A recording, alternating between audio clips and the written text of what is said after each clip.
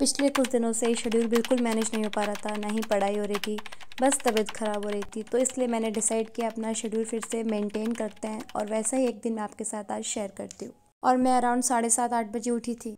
Hello everyone good morning welcome back to my YouTube channel shades of fames मेरे pre prof को ख़त्म हुए almost ten days से ज़्यादा हो चुके हैं और अब मेरे प्रोफेशनल आने वाले हैं और मैंने कुछ भी स्टार्ट नहीं किया है। और इतने दिनों से हम सिर्फ़ बाहर घूमे ही जा रहे हैं। कभी कोलकाता, कभी कल्याणी, फिर क्रिसमस सेलिब्रेशन तो इसलिए और पढ़ाई स्टार्ट नहीं कर पाए। बट कोई नहीं, अभी टाइम है प्रोफेशनल्स के लिए।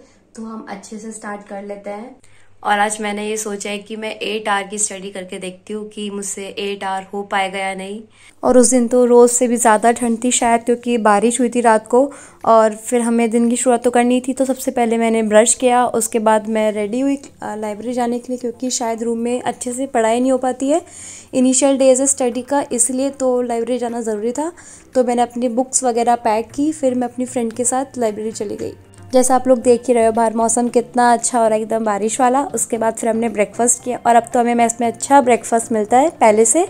और फिर उसके बाद हम चले गए लाइब्रेरी पढ़ने। हम जनरली सेकेंड फ्लोर जाते हैं, क्योंकि ग्राउंड फ्लोर पर बहुत भीड़ होती है तो इसलिए मन नहीं करता है तो सेकेंड फ्लोर पर शांति होती है और भीड़ कम होती है तो इसलिए हम वहाँ पढ़ते हैं।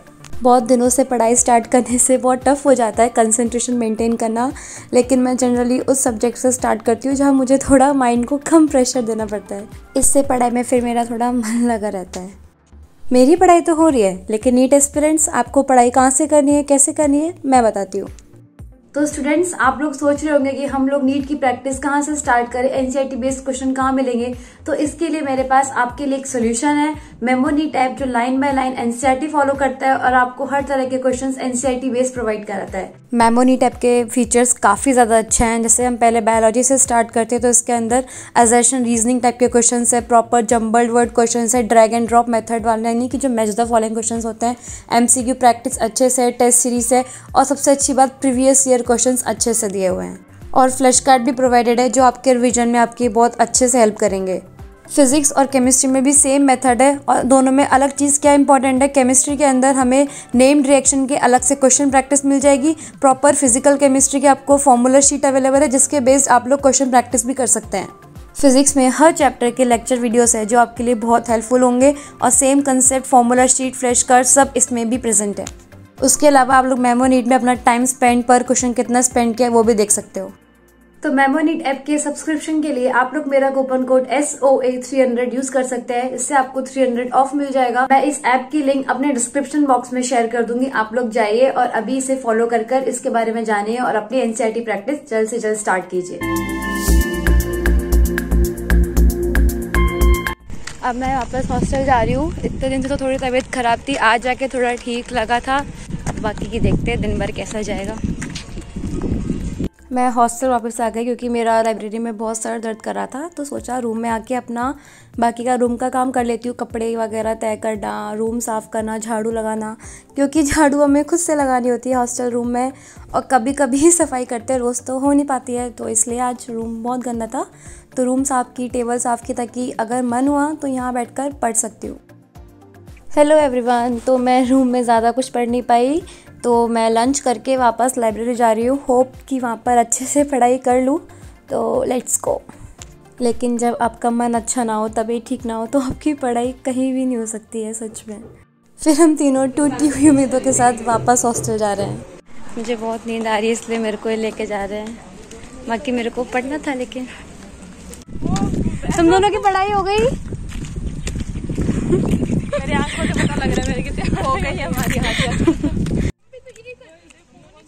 बहुत अच्छी आवाज़ चल रही है इस लेकिन अभी मेरा सर बहुत दुख रहा था तो इसलिए सोची रूम में जाके अच्छे से थोड़ा पढ़ लूँगी बट अभी चलते फिर उसके बाद मैं सो के उठी अराउंड साढ़े चार पाँच समथिंग हो गया था। एक तो पढ़ाई की स्टार्ट अभी दो दिन ही हुए थे तो इसलिए इतने अच्छे से हो भी नहीं पा रही थी। बट ठीक है, जितना पढ़ रही थी उतना ठीक है। एक दो टॉपिक भी बहुत हो रहा था।